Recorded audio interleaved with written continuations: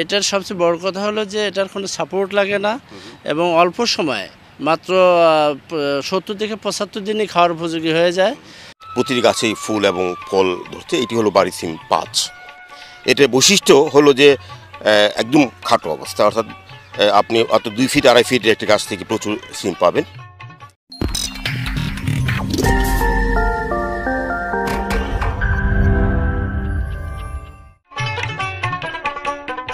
তবে সাম্প্রতিক সময়ে বাংলাদেশ কৃষি গবেষণা ইনস্টিটিউট একটি জাত উদ্ভাবন করেছে যেটি বলে বলা হচ্ছে বাড়ির সিম পাঁচ।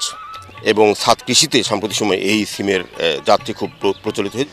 ছাদ কৃষিতে এটা এমনভাবে নিয়ে গেছে যে প্রত্যেকে মানে খুবই খাটো বলে। তাদের ওখানে যে ছোট টব থাকে সেখানে করা সম্ভব। কিন্তু আপনারা এখানে দেখছেন যে বাড়ি সিম পাঁচ সে একেবারেই বেগুন গাছের চেয়েও ছোট।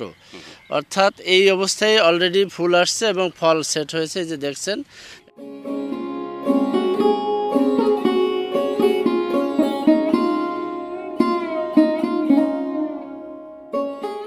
এটা উৎপাদন হয়? উৎপাদন প্রতি গাছে দেড় থেকে দুই কেজি কোনো সময় আড়াই কেজি মানে হয়। এই এই গাছটি। জি। এ- এখানে একটা গাছে দেড় কেজি থেকে দুই কেজি। এই সুবিধাটা নিয়ে এই এই জন্য এই যাত্রা উদ্ভাবন হয়েছে। এর বিশেষায়িত দিক হচ্ছে যে সাপোর্ট লাগবে না।